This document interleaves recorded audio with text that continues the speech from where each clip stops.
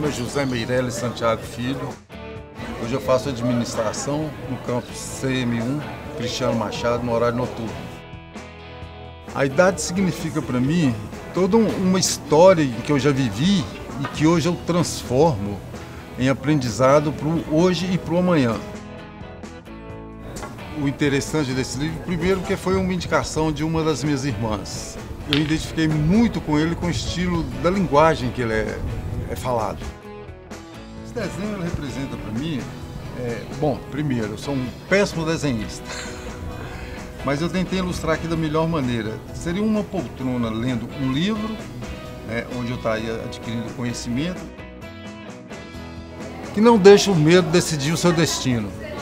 Se quer voltar a estudar, volte. É a melhor coisa que existe hoje.